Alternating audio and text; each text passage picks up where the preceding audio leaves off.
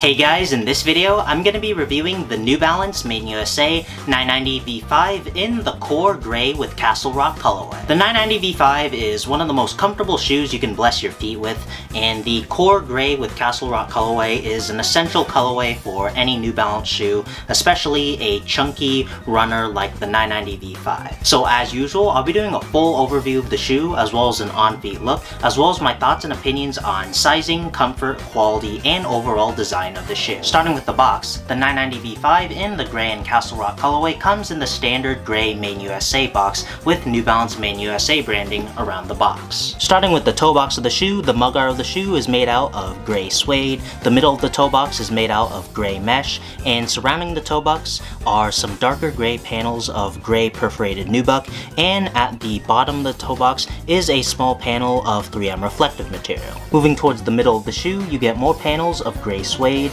The lace eyelets of the shoes are also made out of that gray suede. And in the very middle of the shoe, you get the New Balance N logo in a gray 3M reflective material with a darker gray border.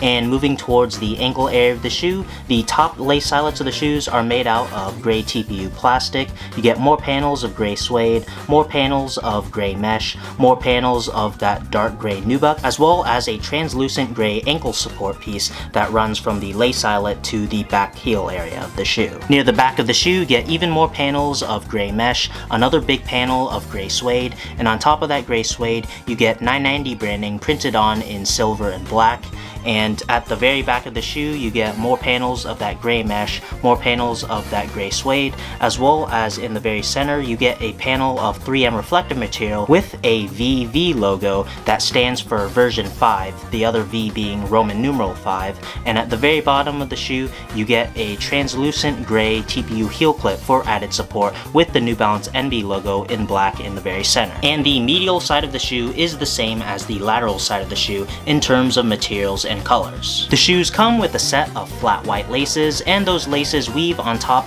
of a gray mesh tongue and at the very top of the tongue you get a Made in USA branded panel that's made out of light gray nubuck and you get the Made in USA badge in this uh, shiny plastic material with the USA flag on it and at the bottom you get uh, 990 V5 printed on in black. The back of the tongue and the ankle area of the shoe are made out of gray mesh. The 990 V5 comes stock with an Ortholite Comfort insole with a black textile upper. This Ortholite Comfort insole adds yet another layer of cushioning to an already padded midsole. The midsole of the shoe is made out of three different foams. You got white foam, you got gray foam, and a darker gray foam at the back. But the main technology utilized in the 990 V5 is ENCAP, utilized in the ankle area of the shoe. ENCAP consists of a stiff polyurethane heel cradle with a soft EVA foam core, which gives the user an excellent combination of both softness and firmness. And lastly, moving on towards the outsole of the shoe, the 990 V5 comes with a black and gray rubber outsole with good traction for running and performance. So now that the overview of the shoe is out of the way, I'll lace these up and I'll show you how they look on feet.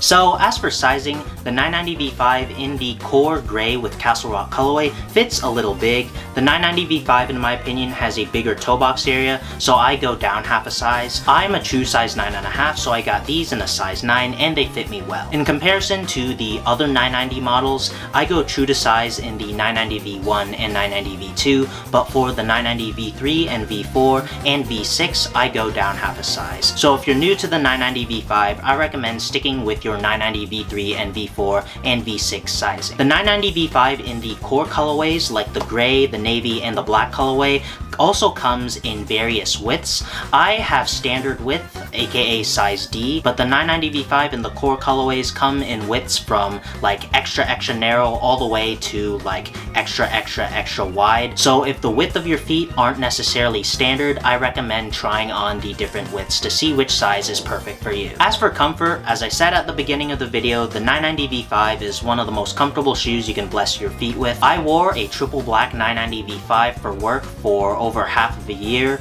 and my feet were always comfortable during the day and at the end of shifts uh, my feet did not hurt at all so the 990 V5 is a very comfortable shoe. Uh, you can also run in them. Uh, the 990 line has always been a performance running line from the beginning and it still is. And as for my three factor comfort rating I give the 990 V5 a 7 out of 10 for cushioning and softness, a 6 out of 10 for stability and firmness, and an 8 out of 10 for midsole shape and support. In my opinion, you get an excellent combination of softness and firmness. It's not too overly soft or squishy on your feet, nor is it too overly firm or stiff on your feet, and it has a very supportive midsole shape. As for quality, this being a Made in USA shoe means that the material quality and craftsmanship is definitely a step above standard Asian made New Balances, and uh, the suede quality is nice and soft in hand, the nubucks feel great in hand, as well as the mesh. In terms of the craftsmanship, I had absolutely no problems on my end whatsoever, and the materials overall blows anything out of the water from other Asian made sportswear brands shoes. As the saying goes,